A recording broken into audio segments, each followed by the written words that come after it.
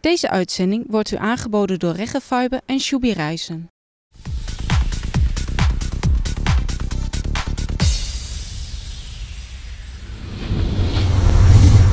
Leuk dat u kijkt naar een nieuwe uitzending van Excelsior 31 TV. We zijn vandaag aanwezig bij de finale dag van het Fletcher Top Toernooi.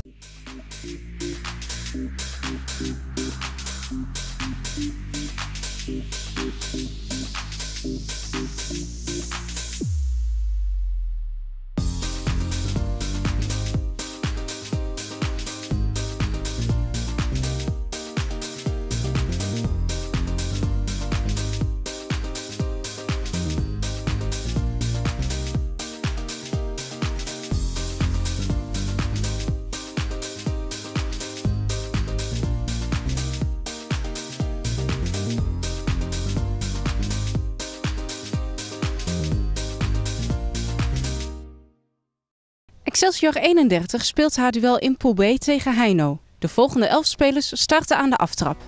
Abdul Arjan Kok. De verdedigers zijn Dylan Voskelen, Patrick Jurgens, Melvin Veldhuis en Michel Gerritsen Mulkus. Op het middenveld staan Joran Pot, Nick Davina en Mark Breukink. De aanvallers zijn Grades Zempenius, Hakim Esafsavi en Patrick Gerritsen. Of het Excelsior 31 lukt om de finale rondes te bereiken, weten we na afloop van deze wedstrijd en na het duel tussen DOS 37 en Berkum. Wat Excelsior 31 doet, ziet u in de volgende samenvatting.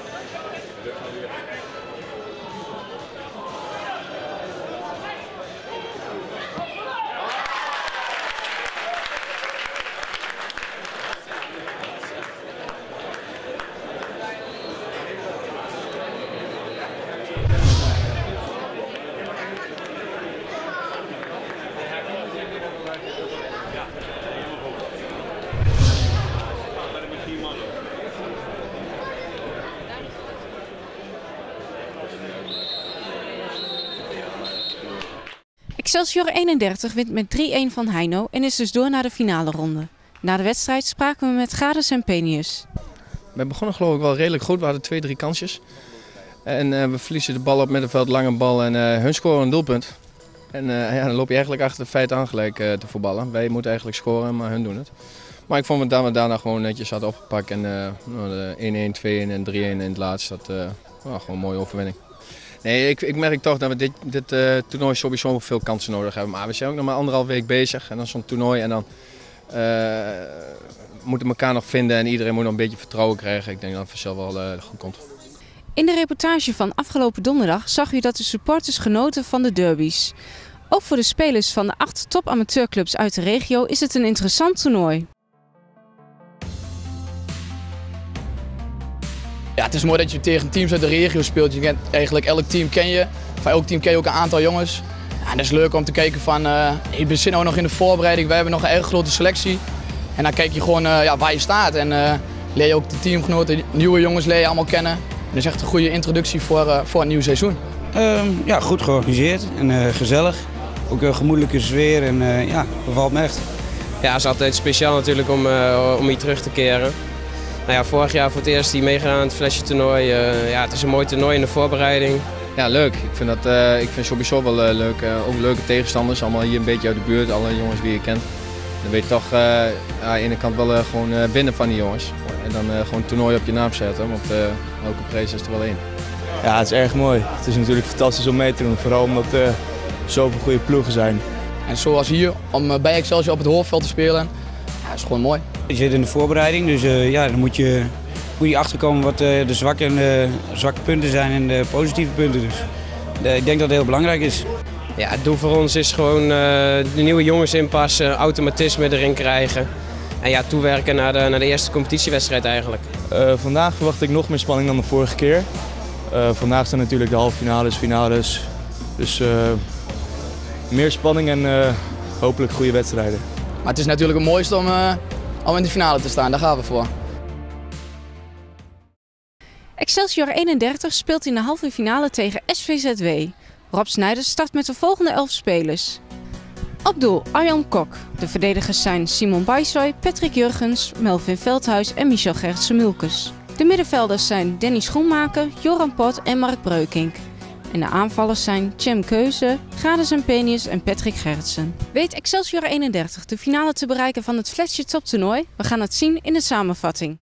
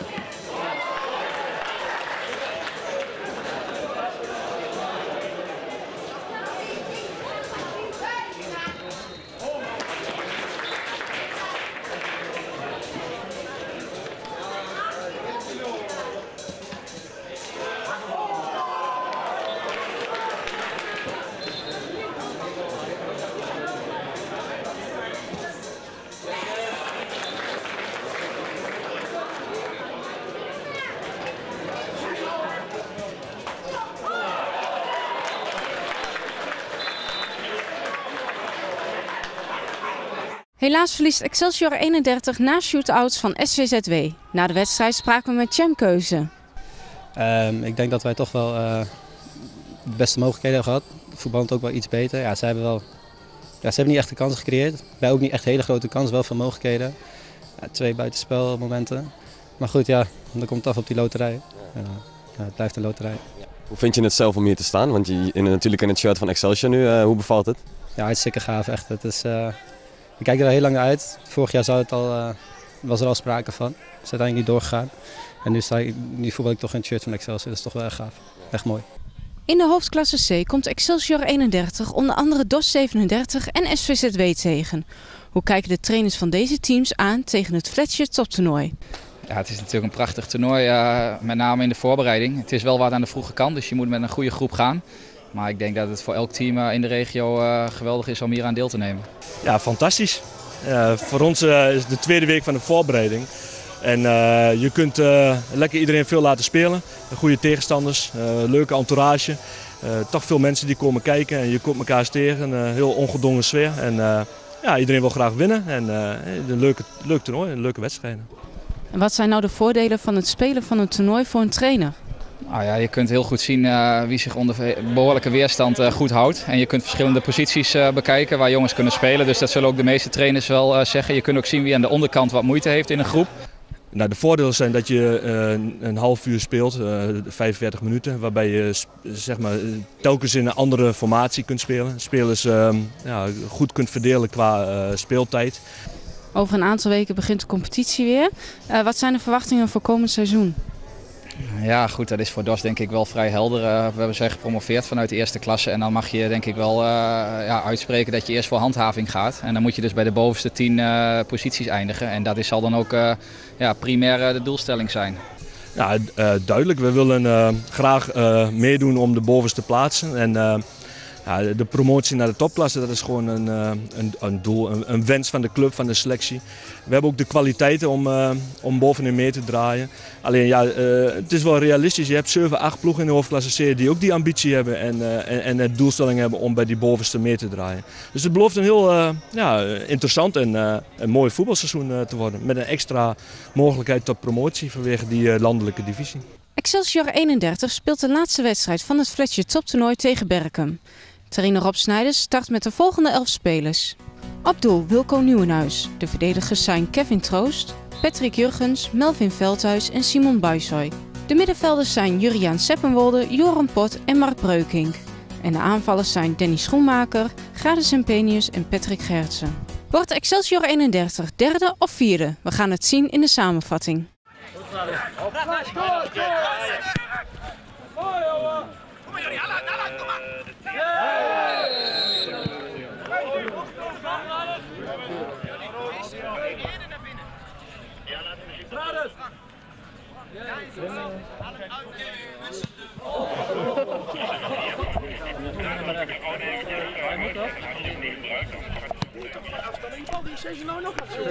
Nee, nee, is al terug. Is al terug. Hij was is al terug. Ik denk dat kost me weer geld. Veld 9, vraagt hij. Veld 9. Amartina toen ik in geld ging crossen. Zeg maar met overtuiging.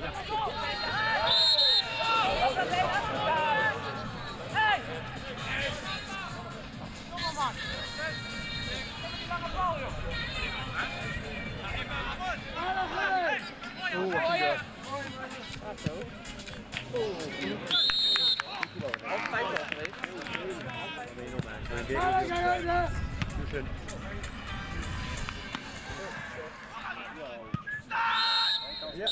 geweest.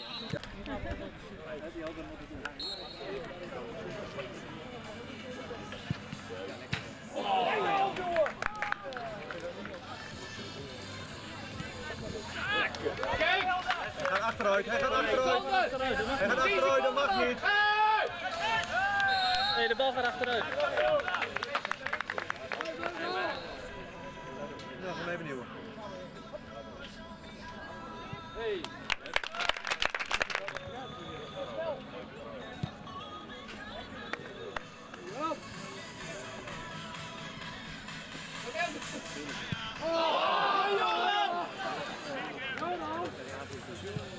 Ja?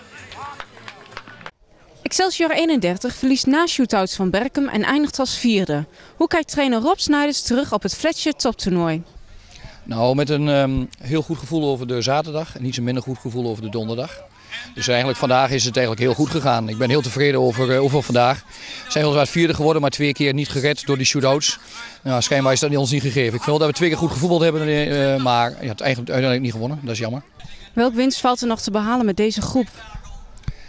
Nou, ja, ik denk nog heel veel winst te behalen valt. Het eerste is dat we fit moeten zijn. Eh, Ik bedoel, we hebben geen brede groep. Eh, als we eh, allemaal fit zijn, dan, dan kunnen we aardig goed voetballen. Dan kunnen we goed neerzetten. Maar het verdedigende gedeelte, ja, daar moet nog meer aan het oefenen. Welke nieuwe dingen heb je gezien van de spelers dit toernooi?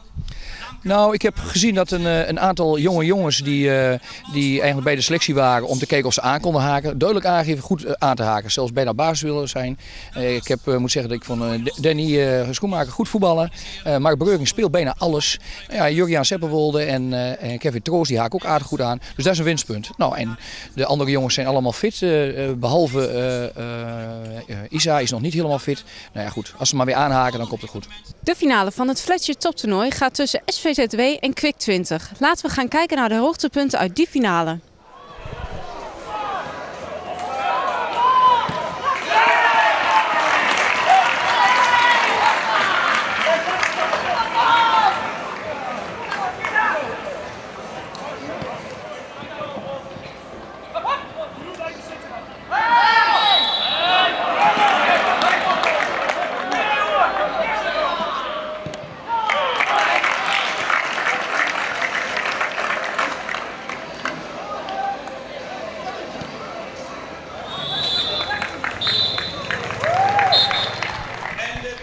De winnaar van de tweede editie van het Fletcher toptoernooi is Quick 20. Hoe kijkt aanvoerder Ryan Snelders terug op dit toernooi?